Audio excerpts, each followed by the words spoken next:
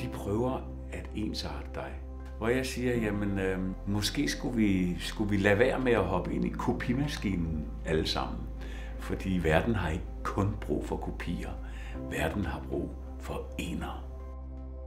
Mit navn er Torben Iversen, og jeg tror på, at man skal blive ved med at lege. For at lege er at leve. Altså i forhold til de unge i dag, der tænker jeg, er de sociale medier egentlig så sociale, som man siger? Eller er de faktisk asociale? Der, der er mange børn i dag, de kan ikke tegne.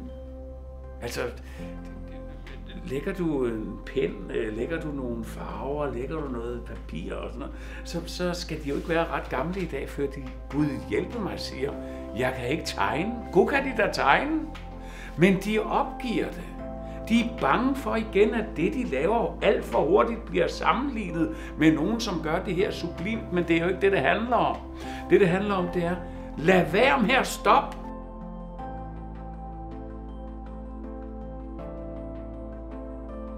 Hatten af, hvis jeg havde den på, for alt det, det kan det med.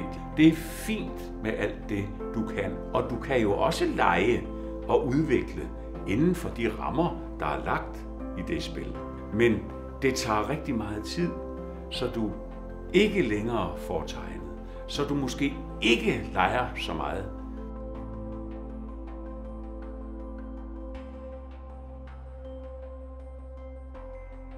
At, at sige ja til hinanden, det er et af grundelementerne i den disciplin, der hedder teatersport. Det kan sagtens være, at der er en anden idé, der er bedre end din, men det er en del af lejen.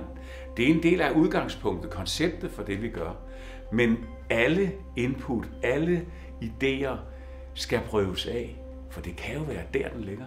Og der er rigtig mange ting i verden, der ikke var blevet til noget, hvis man ikke havde sat sig lidt på en idé, som ingen andre troede på. For det lille frøkorn, der kan ligge i en rigtig god idé i en leg, det kan godt gå hen og være den helt store idé for verdensmarkedet.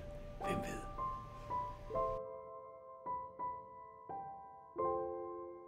Der mener jeg, at det vi gør, når vi laver teater, det er, at vi netop siger, at vi er ikke en kopimaskine.